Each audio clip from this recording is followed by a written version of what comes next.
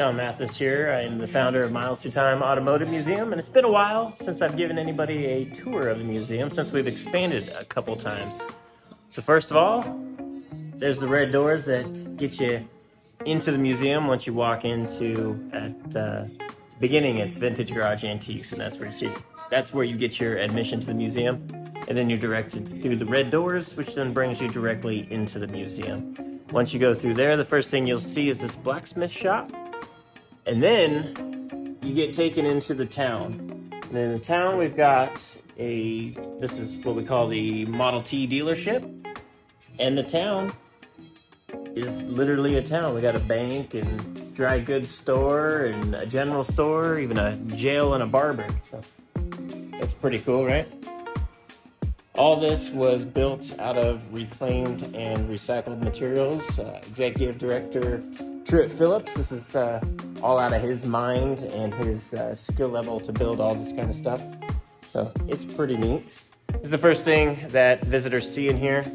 Um, and then you've got a replica of the Phillips 66 filling station, and we've got an old Coca-Cola diner down there, which is actually Donna's diner. Um, over here, we are accumulating stuff for our shop. Um, this will actually get built out quite a bit more um, with a faux wall on the bottom and up high, and that will just be uh, a shop. Um, so you'll see the, the two 27s sitting in there. Uh, that'll be pretty neat. So this is essentially gallery one. Uh, once you turn the corner here, then you find yourself in gallery two. Gallery 2 is the rest of the museum that uh, was the entire museum when we first moved into the museum, or into this building, I should say. Um, in Gallery 2, it consists, at the moment anyways, we've got our Model A's and uh, 1920s.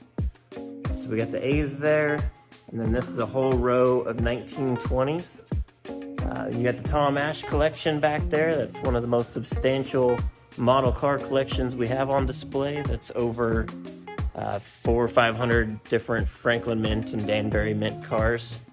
Um, in the background here, this is the uh, Gary Russeth collection. This is pretty cool. This is, uh, uh, these are all full-size wooden sculptures of real cars and then you've got the General back there. That's a half scale all wood version of the General, uh, which is a real train, but it is also made famous from the movie The Great Locomotive Chase. You'll see a 150 of these wooden tender, or uh, 150 of the wooden logs in there in the tender. And Gary made every single one of these things, and it's it's impressive. It's pretty awesome. So here's the train. He made every single one of these. So then you've got, you know, you've got the original Model A, uh, Oldsmobile Curve Dash back there. Um, you've got the Stanley Steamer. The Maxwell is the only one that's unpainted. Uh, I like the Studebaker Electric is super neat. and then you got the uh, 1907 Buick Model G. And then this Model T is actually the most realistic looking one. Uh, that thing's pretty sweet. The Mathis is awesome. It's the only one in the country. Um, then we got, let's see, the Helica that was brought over here from uh, Jeff Lane from Lane Motor Museum. Um, and then the other thing that we've got is our racing section over here. So that's the the racing corner of Miles Through Time. Uh, and then opposite of that is our Studebaker exhibit. So here we've got a couple Studebakers and a Packard at the moment. The two Studebakers have been donated to the museum. The Avanti came from the Studebaker National, or the National Studebaker Museum, and then the Golden Hawk was donated to us by Dr. Carl Peace. So, originally, the museum ended at this wall. Where this red pump is was the door The door would then take you into gallery three. Uh, or actually, I should say, when the door was there, it, you exited the museum. Now the door is gone. Uh, we took a section of the wall down, and this is gallery three. This is our first expansion in here. in here consists of the microcars that came from Lane Motor Museum. Um, here you'll see the DeLorean and the Bricklin. Uh, we've got our motorcycles and pedal cars and bicycles. Uh, we've got some British convertibles at the moment, and you'll see the uh, Porsche 356s we've got on display.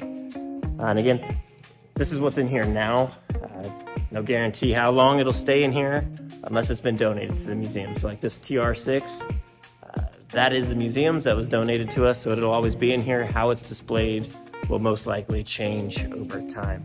And then you've got concept car. That is a Ford Ghia Arioso.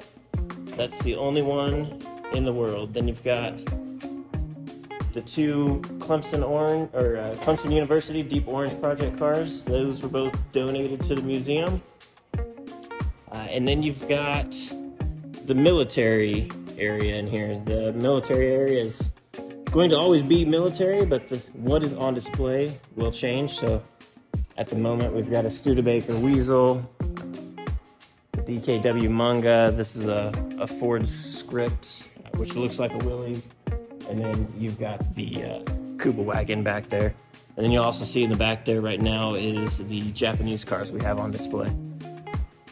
Now the latest expansion is this hole here. This takes you into Gallery 4. Gallery 4 consists of our muscle cars, big sedans, um, and the Cannonball collection at the moment. So in here is pretty cool. Uh, we can hold about 45 cars in here. Um, at the moment, I think we've got 36 in here because a few of them have left, and then we've got room for a few more to come in. This one here, though, this one, Shelby Series 1, just came in today. So that's how quickly it changes in here.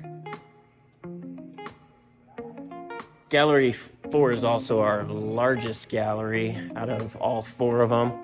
Uh, we basically took a the big section in the old mill and turned it into one of our galleries and haven't really done much else with it other than put some cars in here. There's my Pops 59 Cadillac.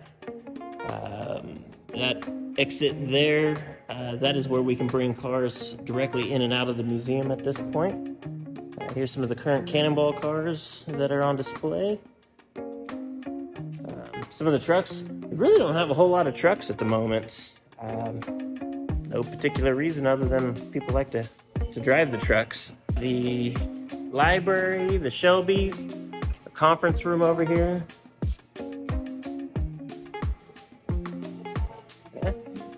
Even got a uh, firefighter exhibit here. It's pretty cool.